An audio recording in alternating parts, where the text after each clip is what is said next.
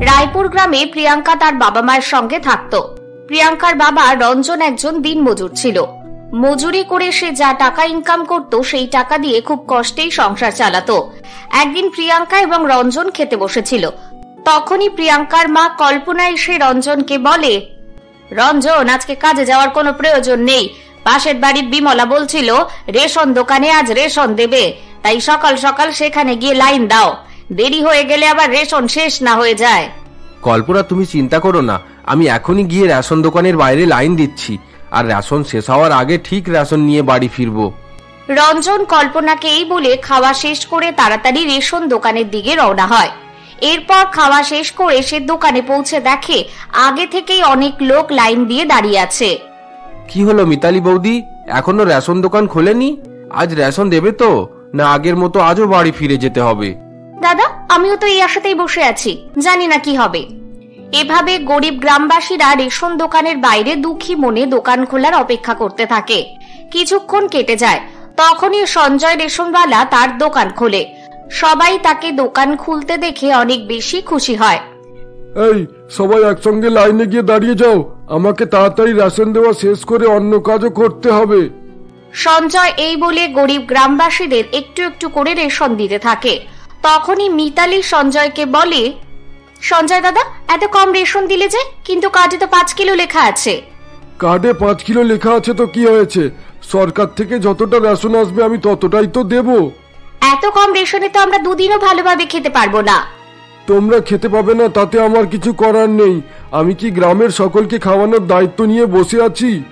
সঞ্জয় এই বলে মিতালিকে মাল দিয়ে সেখান থেকে তাড়িয়ে দেয় এবং কিছু গ্রামবাসীকে রেশন দেওয়ার পর বলে রেশন শেষ হয়ে গেছে তাই এবার পরের মাসে রেশন নিতে আসবে। দাদা আগের মাসের মতো এ মাসেও তো আমরা মাল পেলাম না। এভাবে প্রতি মাসে যদি আমরা ঠিকমতো রেশন না পাই আমরা তো না খেয়ে মরবো। দেখ রঞ্জন তোরা না খেয়ে মরবি তাতে আমার কিছু করার নেই। আমি কি সব মাল লুকিয়ে রেখেছি তোদের না দেওয়ার জন্য? সঞ্জয় রঞ্জনকে এই বলে রেশন দোকান বন্ধ করে দেয়।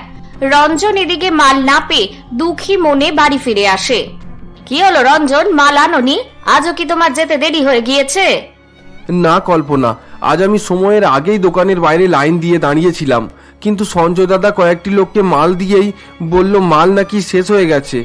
এবার তুমি বলো, আমি কি তার সঙ্গে মারামারি করব?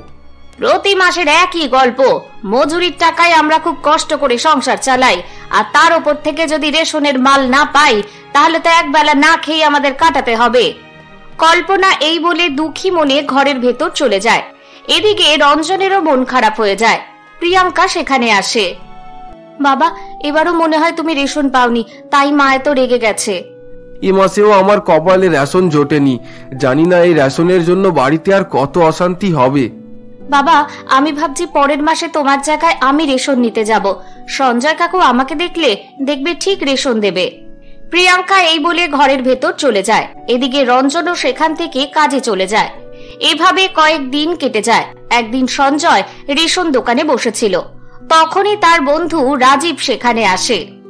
কি রে সঞ্জয়, রেশন দোকানে তো ভালোই মাল স্টক করে রেখেছিস। কোথাও বিক্রি করছিস নাকি শুধু জমিয়েই চলেছিস? মাল বিক্রি করার জন্যই তো জমাচ্ছি কিন্তু তেমন কাউকে পাচ্ছি না যে একসঙ্গে আমার সব মাল কিনবে। তাহলে তো অপেক্ষার দিন শেষ কারণ আমি শহরে একটা বড় মুদিখানা খুলেছি। এখন থেকে সব মাল তুই আমায় বিক্রি করে দিস আমি তোকে সব মালের ভালো দাম দেব। আরে বাহ এ তো খুব ভালো কথা। তাহলে তো আমার আর কোনো চিন্তাই থাকবে না। এবার প্রতি মাসে গ্রামবাসীদের ঠকিয়ে যে রেশন বাঁচাবো আমি ঠিক সুযোগ মতো তোকে পাঠিয়ে দেব। সঞ্জয় এই বলে মাল শহরে পাঠানোর ব্যবস্থা করতে থাকে।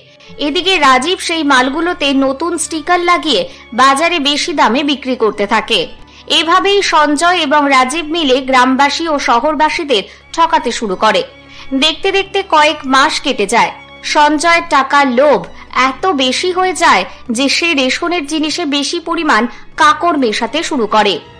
সঞ্জয় দাদা কয়েক মাস থেকে চাল আর ডালে প্রচুর পরিমাণে কাঁকড় বেরোচ্ছে। ঠিকমতো ভাত খাওয়াই যাচ্ছে না। তুই বলতে কি চাইছিস রঞ্জন? চাল ডালে কাকড় আমি ইচ্ছে করে মেশাচ্ছি।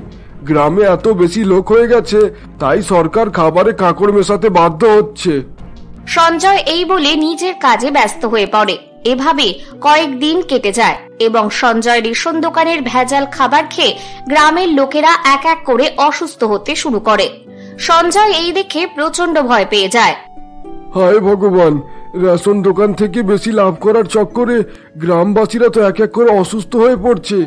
এবার এদের অসুস্থ হওয়ার কারণে যদি পুলিশ এসে আমাকে অ্যারেস্ট করে নেয় তাহলে তো আমার রেশন দোকান বন্ধ হওয়ার সাথে সাথে আমাকে জেলের ঘানিও টানতে হবে। সঞ্জয় মনে মনে এসব ভাবছিল। তখনই তার মোবাইলে একটা ফোন আসে। হ্যালো আমি সিটি হাসপাতালের ডাক্তার বলছি। আপনি কি সঞ্জয় বাবু হ্যাঁ আমি সঞ্জয় বলছি। দেখুন আপনার ছেলে বৌমা আমাদের হাসপাতালে অ্যাডমিট আছে তাই আপনি তাড়াতাড়ি এখানে চলে আসুন। ডাক্তারের কথা শোনা মাত্রই সঞ্জয় তাড়াতাড়ি করে গ্রাম থেকে শহরে চলে আসে। ডাক্তারবাবু কি হয়েছে আমার ছেলে বৌমার? দেখুন আপনার ছেলে বৌমার ফুড পয়জন হয়েছে তাদের অবস্থা ভালো নয় যার কারণে আপনাকে ইনফর্ম করতে হলো। ডাক্তার সঞ্জয়কে এই বলে সেখান থেকে চলে যায় এবং সঞ্জয়ের ছেলে বৌমার ভালো করে ট্রিটমেন্ট করে তাদের সুস্থ করে তোলার চেষ্টা করে। এভাবে দুদিন কেটে যায়। দুদিন ডাক্তারি ট্রিটমেন্টে থাকায় তার ছেলে বৌমা সুস্থ হয়ে ওঠে।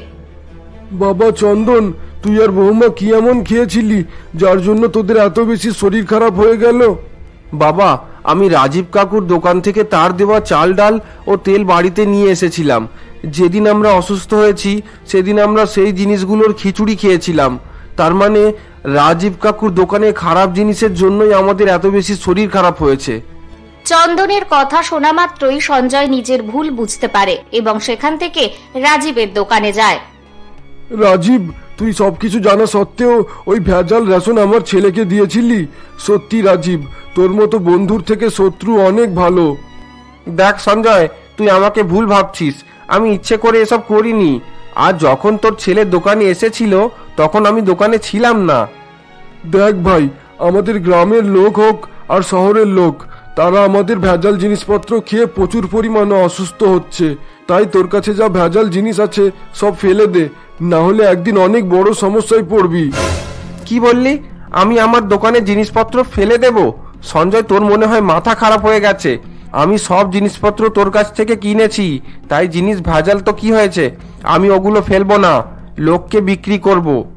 শোন রাজীব আমরা টাকার লোভে অন্ধ হয়ে গিয়েছিলাম কিন্তু আমি এখন বুঝতে পারছি টাকার থেকেও মানুষের জীবন অনেক দামি। ভাই এসব ভেজাল জিনিসপত্র বিক্রি করা বন্ধ করে দে। সঞ্জয় রাজীবকে অনেক বোঝানোর চেষ্টা করে কিন্তু রাজীব তার একটিও কথা শোনে না এবং তাকে দোকান থেকে ধাক্কা মেরে বার করে দেয়।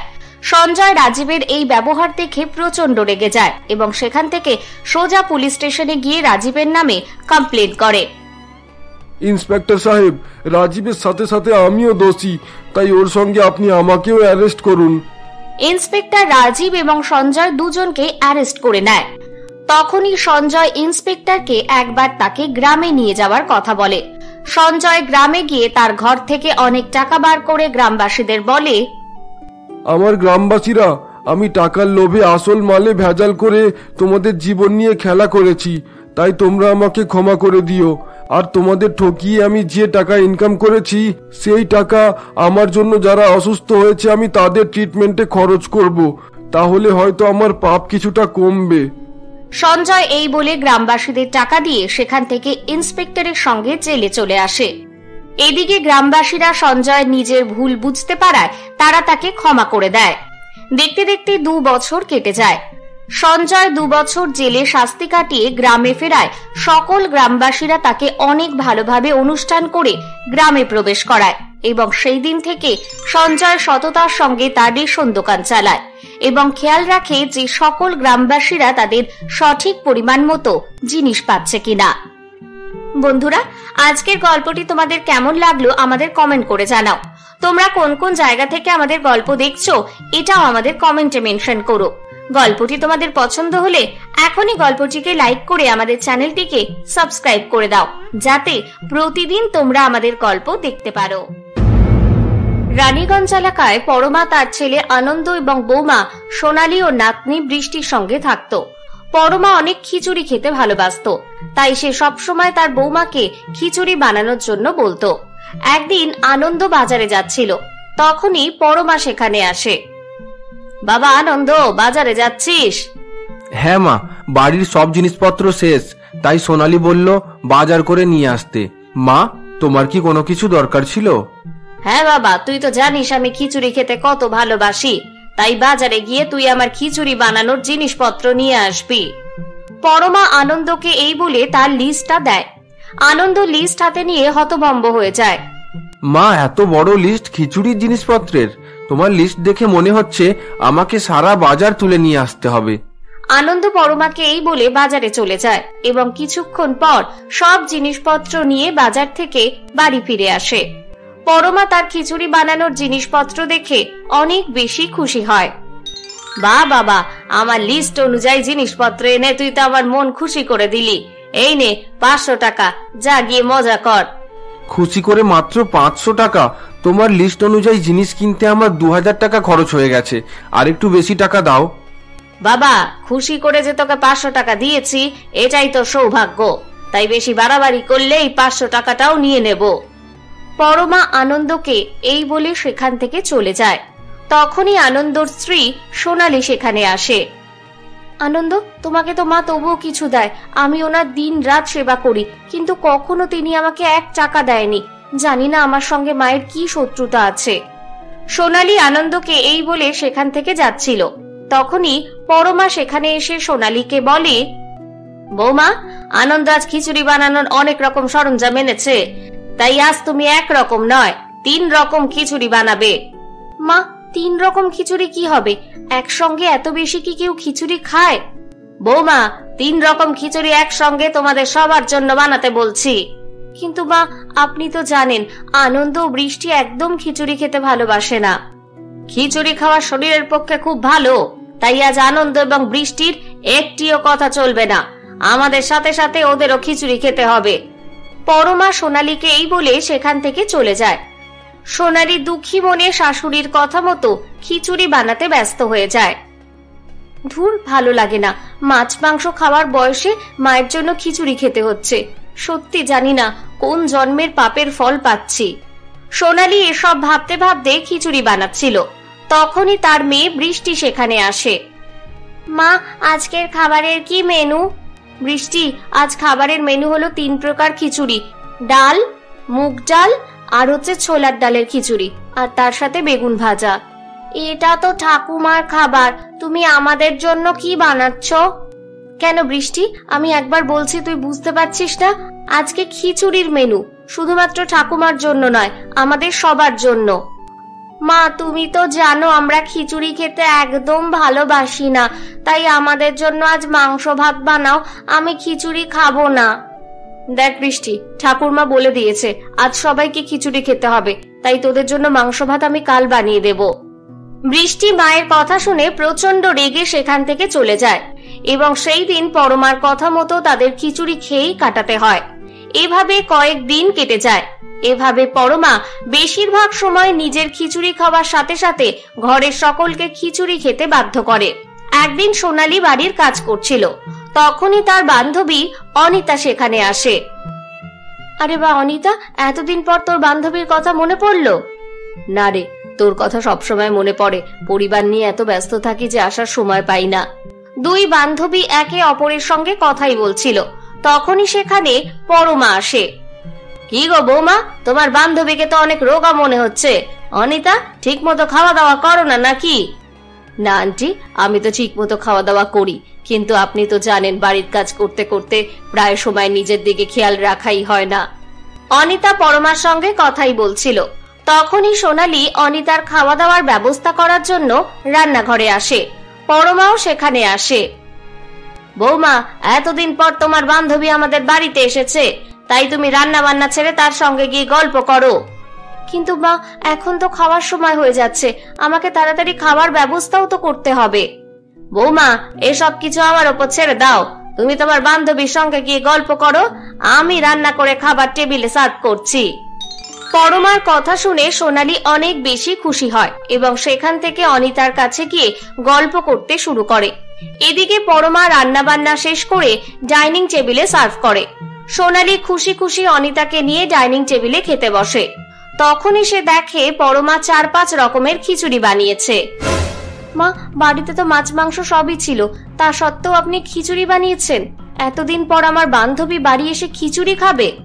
বৌমা, এতে খারাপের কি আছে? তোমার বান্ধবীর শরীরের অবস্থা দেখেছ? ওর এই সময় মাছ মাংস না খেয়ে খিচুড়ি খাওয়াই ভালো। পরমা এই বলে সেখান থেকে তার রুমে চলে যায়। তখনই অনিতা সোনালীকে বলে, ওরে বাবা সোনালী, তোর শাশুড়ি তো একদম দাবিয়ে রেখেছে। সত্যি, তুই যে বিয়ের পর এতটা পাল্টে যাবি, আমি তো ভাবতেই পারছি না।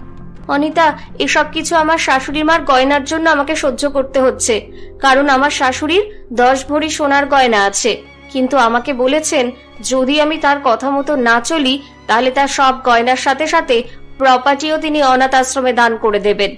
তুই বল আমি কি করব? সোনালি, এই কথাটা তো তুই একদম ঠিক বলেছিস, কারণ এখন কোনো শাশুড়িকে বিশ্বাস নেই, তারা কখন কি করে সেটা আমাদের ধারণার বাইরে। অনিতা এই বলে খাওয়া দাওয়া শেষ করে সেখান থেকে বাড়ি ফিরে যায়। এভাবে কয়েকদিন কেটে যায়, একদিন সোনালি বাড়ির কাজ করছিল। তখনই সে দেখে পরমা বিছানায় শুয়ে আছে। মা, আপনার কি শরীর খারাপ? হ্যাঁ বৌমা, সকাল থেকেই মাথাটা ঘুরছে, মনে হয় প্রেশার কমে গেছে। পরমার কথা শুনে সোনালি তাড়াতাড়ি বাড়িতে ডাক্তার ডাকে। ডাক্তার পরমার ভালো করে চেক করার পর রুম থেকে বাইরে এসে সোনালিকে বলে ম্যাডাম আপনার শাশুড়ি অনেক উইক তার প্রেশারও অনেক কম। তিনি কি ঠিকমতো খাওয়া দাওয়া করেন না? ডাক্তার তিনি তো খাওয়া দাওয়া খুব ভালো করেই করেন। তিনি তো প্রতিদিন শুধুমাত্র ডাল চালের খিচুড়ি খেয়ে কাটান। ম্যাডাম খিচুড়ি খাওয়া শরীরের পক্ষে ভালো কিন্তু খিচুড়ির সাথে সাথে শাকসবজি, মাংস, মাছ সবই খেতে হবে, কারণ সব কিছু থেকেই প্রোটিন পাওয়া যায়। তাই এখন থেকে এনাকে সব কিছু খাওয়াবেন, তবেই শাশুড়ি পুরোপুরিভাবে সুস্থ হবে। ডাক্তার সোনালীকে এই বলে সেখান থেকে চলে যায়। ডাক্তারের চলে যাওয়ার পর সোনালী নিজেকে বলে, হায় ঈশ্বর, এ আমি কি সমস্যায় পড়ে গেলাম? কত বছর থেকে মা শুধু খিচুড়ি খেয়ে আসছে। এখন হঠাৎ মাংস ও শাকসবজি দেখে যদি আমার উপর রেগে যায়? না বাবা, আমি এত বড় রিস্ক নিতে পারব না। সোনালী এসব ভাবতে ভাবতে কিচেনে চলে যায় এবং আবার শাশুড়ির জন্য খিচুড়ি বানিয়ে তাকে খাওয়ায়। এভাবে কয়েক দিন কেটে যায়। একদিন প্রত্যেক দিনের মতো আনন্দ অফিসে যাচ্ছিল। তখনই হঠাৎ সে মাথা ঘুরে মাটিতে পড়ে যায়। সবাই তার এই অবস্থা দেখে অনেক বেশি ভয় পেয়ে যায় এবং তাকে পাশের হসপিটালে অ্যাডমিট করে। ডাক্তার আনন্দর ভালো করে চেক আপ করার পর সোনালীকে বলে আপনার স্বামীর একটি কিডনি খারাপ হয়ে গেছে। আমাদের ইমিডিয়েট অপারেশনের জন্য কিডনির ব্যবস্থা করতে হবে। আর তার জন্য দশ লক্ষ টাকার প্রয়োজন। দশ লক্ষ টাকার কথা শোনা মাত্রই সোনালী অনেক চিন্তায় পড়ে যায়। তখনই সে দুঃখী মনে বাড়ি এসে শাশুড়িকে সব কথা বলে। বৌমা তুমি চিন্তা করো না আমরা সবাই মিলে আনন্দকে সুস্থ করে তুলবো। পরমা এই বলে ঘরের ভেতর থেকে গয়না ও প্রপার্টির কাগজ নিয়ে বাইরে বেরিয়ে আসে। বৌমা, এই নাও, আমার সব গয়না আর প্রপার্টির কাগজ। তুমি সব কিছু বিক্রি করে আমার আনন্দকে সুস্থ করে নিয়ে এসো। কিন্তু মা, সব গয়না তো আপনার অনেক প্রিয় জিনিস। এভাবে আপনি আনন্দের জন্য সব বিক্রি করে দেবেন? বৌমা, আমার প্রিয় জিনিস হলো তুমি, বৃষ্টি আর আনন্দ। তোমাদের জীবনের কাছে এই গয়নার কোনো মূল্যই হয় না। তুমি তাড়াতাড়ি এসব বিক্রি করে আমার আনন্দের অপারেশনের ব্যবস্থা করো। সোনারি শাশুড়ির কথা মতো তার সব গয়না বিক্রি করে দেয়। পরমার গয়না বিক্রি করায় দশ লক্ষ টাকা হয়ে যায়। তাই সে প্রপার্টির কাগজ পরমাকে ফিরিয়ে সেই টাকা নিয়ে আনন্দের অপারেশনের ব্যবস্থা করে। ডাক্তার আনন্দের কিছুক্ষণ অপারেশন করার পর তাকে সুস্থ করে তোলে এবং কয়েকদিন সে হসপিটালে থাকার পর বাড়ি ফিরে আসে। সবাই ডাইনিং টেবিলে খেতে বসেছিল। তখনই সোনালি মাছ, মাংস ও শাক রান্না করে ডাইনিং টেবিলে সার্ভ করে। বৌমা, আমার খিচুড়ি কোথায়? আজকে খিচুড়ি বানাতে ভুলে গিয়েছো? না মা, আমি খিচুড়ি বানাতে ভুলিনি। আজ আমি ইচ্ছে করে খিচুড়ি বানাইনি, কারণ ডাক্তার বলেছে আপনাকে পুরোপুরি সুস্থ থাকার জন্য খিচুড়ির সাথে সাথে শাকসবজি ও মাছ, মাংস খেতে হবে। আর তাই আমি ঠিক করেছি, আপনাকে প্রতিদিন আলাদা আলাদা খাবার রান্না করে দেব। আর সপ্তাহে দুদিন খিচুড়ি বানিয়ে খাওয়াবো। ঠিক আছে, বৌমা। এত বছর তুমি আমার কথা মতো চলেছো, তাই এখন থেকে তুমি যেটা বলবে, আমি সেটা শুনব। পরমার কথা শুনে সবাই খুশি হয়, এবং সেই দিন থেকে পরমাও খুশি খুশি সব রকম খাবার খাওয়ার অভ্যাস শুরু করে দেয়। আর সবাই একসঙ্গে খুবই হাসি খুশিতে বাকি জীবনটা কাটায়। বন্ধুরা, আজকের গল্পটি তোমাদের কেমন লাগল আমাদের কমেন্ট করে জানাও। তোমরা কোন কোন জায়গা থেকে আমাদের গল্প দেখছ, এটাও আমাদের কমেন্টে মেনশন করো। গল্পটি তোমাদের পছন্দ হলে এখনই গল্পটিকে লাইক করে আমাদের চ্যানেলটিকে সাবস্ক্রাইব করে দাও, যাতে প্রতিদিন তোমরা আমাদের গল্প দেখতে পারো।